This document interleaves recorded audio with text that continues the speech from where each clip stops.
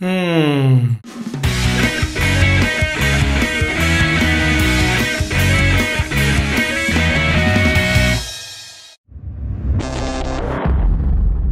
Oi pessoal, tudo bem? Voltei com o TechCast aqui do techzoom.com.br.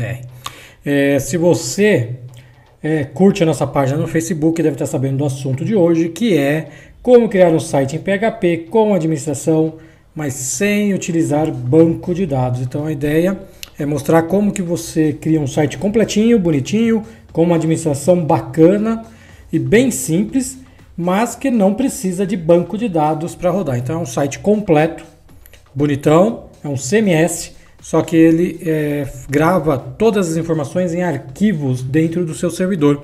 Ele, se você sobe uma imagem ou sobe um texto, ele não vai salvar isso no banco de dados. Ele vai salvar num arquivo que você via FTP ou localhost ali pelo Windows Explorer, você vai lá e vê o arquivo, edita ele, enfim. Você não precisa nem de MySQL, nem de PostgreSQL, nem de nada para rodar o CMS, para rodar o seu site com administração. É, e o CMS, o script PHP que a gente vai utilizar para fazer isso é o Tiny CMS. Tiny CMS. Então ele é um gerenciador de conteúdo bem simples, ele é pequenininho, você a gente vai baixar ele aqui em minutos, em segundos. Ele vai fazer a instalação que também não tem instalação, você jogou no servidor, descompactou o arquivo zip que você baixa, ele já está pronto para uso. Mas eu vou dar umas dicas de como você edita, como você mexe no layout, para você poder criar um site aí personalizado. Tem um botão de download da última versão, a gente clica lá. Vamos salvar já ó, na pasta www, vamos deixar salvar, ó, bem rapidinho, ele tem menos de um mega, de tão simples que ele é, ele tem menos de um mega, então eu acho que você vai adorar este CMS, este gerenciador de conteúdo. Baixou aqui, a versão 1.4 é a última disponível. Vamos dar dois cliques aqui para expandir. Expandiu. É, vamos só trocar o nome da pasta. Vamos deixar Tiny. Tudo minúsculo, só Tiny, que é mais fácil para a gente encontrar. Por quê? Porque eu vou acessar localhost barra Tiny para cair aqui. Então, ó, você está vendo? Isso aqui é o seu, é o, são os arquivos do gerenciador de conteúdo do Tiny CMS que não utiliza banco de dados. Então vamos lá. Agora a gente vai acessar localhost. Só apagar o resto que está aqui. Barra Tiny, que é o nome da pasta que eu dei lá. Lembra? Ó, eu renomeei como Tiny aqui. É o que eu vou chamar aqui no meu localhost. Dou Enter. Caiu.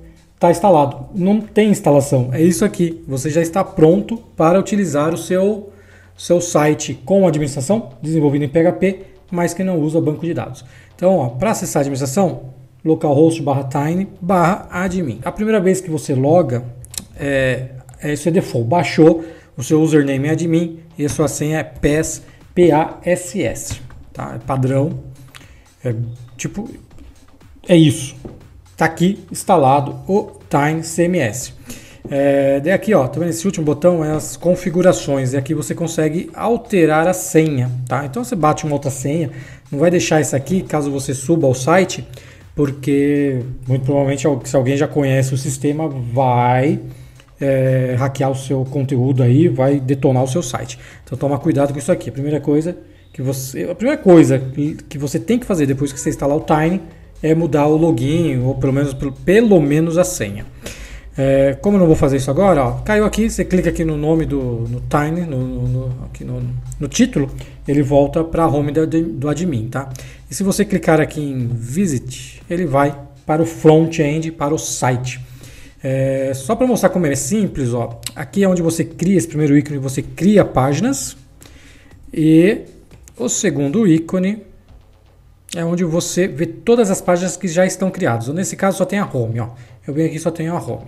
Então vou fazer o seguinte, vou criar uma página para você ver como é fácil fazer isso. Ó. Clica no primeiro ícone. Vamos por uma página aqui sobre teste. E aqui ele pergunta se eu quero salvar como um rascunho ou se eu quero já publicar no site. Eu quero publicar no site. Então publish to site, save page, salvou, tá vendo? Você vem aqui só para exemplificar, ó, time. Vamos ver as páginas que tem, ó. Tem uma página nova aqui que chama sobre, que é a que a gente acabou de criar. Eu venho aqui no meu front, dou um atualizar e olha aqui, ele já coloca no menu automaticamente. Então, é, é isso aqui, é muito simples. É, o site é isso aqui, ele tem uma administração, que você cria o seu conteúdo e você altera conforme você quer, e ele já coloca tudo no front, ele já vai publicando.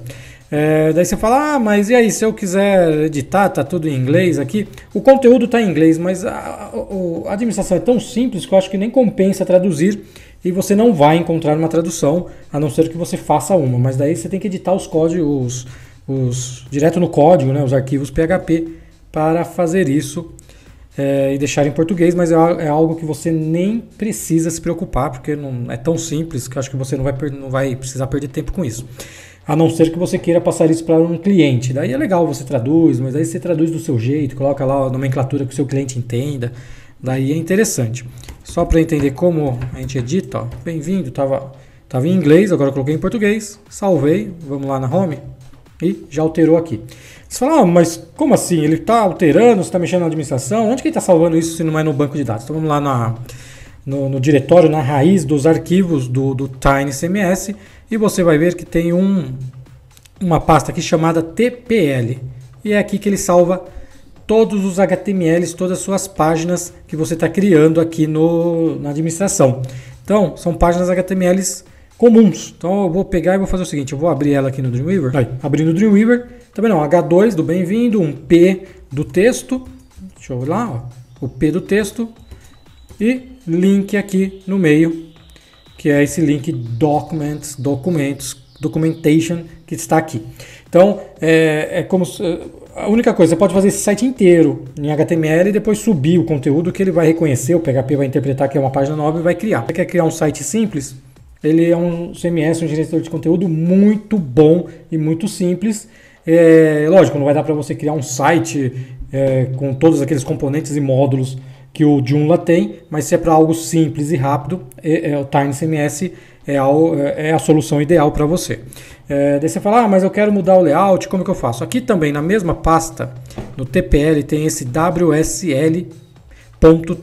Vamos abrir ele também com o é, Dreamweaver para você entender aonde você edita o código HTML. E é neste arquivo, como eu falei, WSL.tpl é um arquivo de template que é onde você monta a cara do seu site, caso você não goste desta aqui que está aqui, né? Ela é bem simples, então de repente é legal você trocar, tirar fundo, mudar o menu, colocar de lado. Daí você fala, ah, mas como eu faço isso? Como eu mudo o menu? Então eu vou mudar o menu só de lugar, só para você entender, tá vendo? Essa aqui é a div aonde ele chama o menu.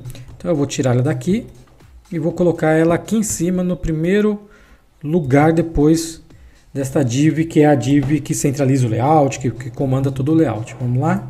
Mudei, né? Você viu que eu não tive que fazer nada, eu só salvei o arquivo, mudei a posição e salvei o arquivo. E, olha lá, o menu subiu. Ou seja, se você tem um layout aí em HTML, você vai conseguir adaptá-lo para o TinyCMS tipo em um dia, ou até menos, depende do seu conhecimento. E daí você pode colocar um menu do lado, colocar um menu embaixo, você pode brincar à vontade. E na, aqui na administração você tem todas essas opções aqui, ó. Você consegue subir uma imagem, você consegue colocar um link, criar uma tabela, é, mudar a fonte, as cores, pode brincar à vontade que ele vai aceitar e vai funcionar. É, eu espero que vocês tenham gostado do TinyCMS, apesar dele ser um, um gerenciador, um script simples, eu acho que vai quebrar o galho de muita gente e eu espero que vocês realmente gostem e utilizem. É, não deixa de comentar aqui no YouTube ou no techzoom.com.br para eu saber se vocês estão gostando ou não. Até o próximo vídeo.